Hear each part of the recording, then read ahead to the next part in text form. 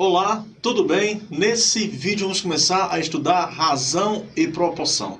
Então vamos por partes, vamos começar a estudar o conceito de razão. Que no contexto matemático, razão quer dizer uma divisão, um rateio entre valores, um rateio de valores, tá? Então, para a matemática, razão representa o resultado de uma divisão. Só que nós sabemos que os elementos envolvidos numa divisão recebem nomes especiais. Temos o dividendo, temos o divisor, o resultado da divisão, que é o que está aqui em jogo nesse momento, é o chamado quociente. Então eu posso dizer para você que o quociente, aliás, que razão é o quociente entre dois números. Dois números simplesmente números, ou então esses números representarem uma grandeza. De um modo ainda muito superficial, vamos entender o que é grandeza. Grandeza é tudo aquilo que você pode medir, que você pode contar. Por exemplo, você pode medir a velocidade de um carro, medir o tempo, contar quantidade em dinheiro, número de candidatos no concurso. Então, é, a razão é o resultado entre a divisão de dois números, que poderão indicar também, inclusive, grandezas, tá? Bom, mas na nossa razão, já que ela representa uma divisão, vamos ver então de quantos modos eu posso representar essa razão. Temos aqui ó, a divisão de 1 por 4. Como é que eu leio isso? 1 dividido por 4. Nós sabemos, vimos isso em números racionais, que toda fração eu posso representar, aliás, a fração representa uma divisão. Então, dizer 1 dividido por 4 é a mesma coisa que falar 1 sobre 4. Ou, se preferir, 1 quarto. Se você efetuar essa divisão, tu vai chegar a um resultado decimal exato. 0,25 ou 25 centésimos. Então vamos focar nisso aqui. Você pode representar uma razão de vários modos. Ou a divisão comum, essa linguagem vai ser usada inclusive lá em escalas com mais frequência, ou representar a fração, ou ainda fazer a representação decimal do resultado dessa divisão. Bom, mas aí tem uma linguagem toda própria para você poder falar numa razão. Por exemplo, não vamos mais falar com tanta frequência o numerador e o denominador. Lembramos que o numerador é a parte de cima da fração, é o número que está em cima, e o denominador é o número que está embaixo. No contexto de razões, a gente vai ficar usando com mais frequência, aliás, em concursos essa linguagem é muito utilizada. Vamos falar o quê? Que o antecedente vai ser o 1, aqui no caso, o numerador, tá? Porque na divisão o 1 veio antes do 4, tá certo? É um antecedente. E o consequente vai ser o denominador. Então, em problemas que vão envolver razão e proporção, isso mais na frente, quando eu falar antecedente e consequente, tu já vai substituir automaticamente antecedente por numerador e consequente por denominador. Existem umas razões especiais. Essas razões podem aqui eu citar para você dois exemplos. Por exemplo, aqui eu tenho a velocidade média, é uma razão especial.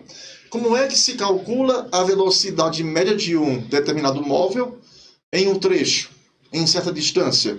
Você vai fazer o quê? Vai pegar a distância percorrida e dividir pelo tempo gasto. Isso lá na física você aprende que é a velocidade média. Bora ver um exemplo disso. Um carro percorreu 200 quilômetros em duas horas. Então, a minha velocidade média, vou aqui abreviar para VM, tá bom?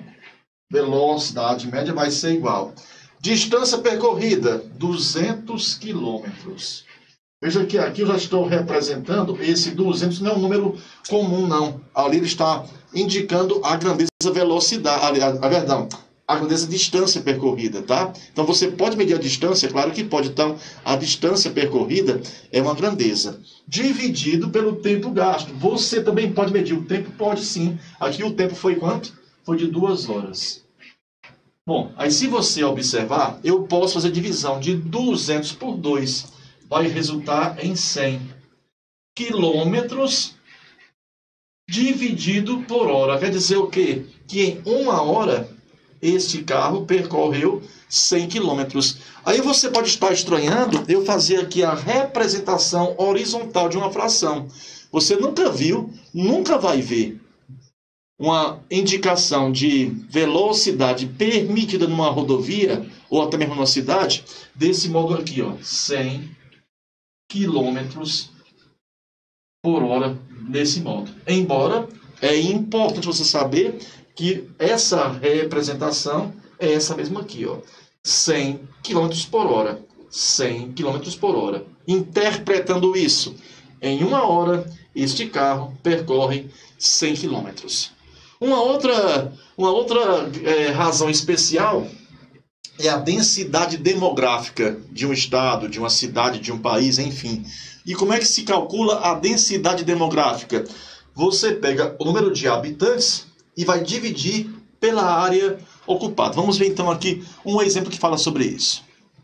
Não sei se dados são verídicos, mas é apenas aqui um exemplo para você poder ter a situação ilustrada. Vamos ver aqui. O estado do Ceará tem uma área de 148.016 km e uma população de 6 milhões 471.800 habitantes. Então, com a informação dada aqui inicialmente, qual vai ser então a densidade demográfica?